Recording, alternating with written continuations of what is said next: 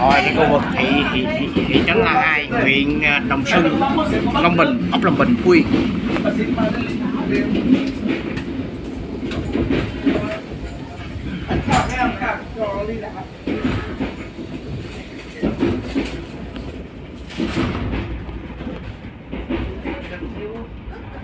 Dạ, vâng Yên khu vực à, của khu phố Long Bình à, thị trấn La Hai Phú Yên hợp pháp đó là một cái đại lý.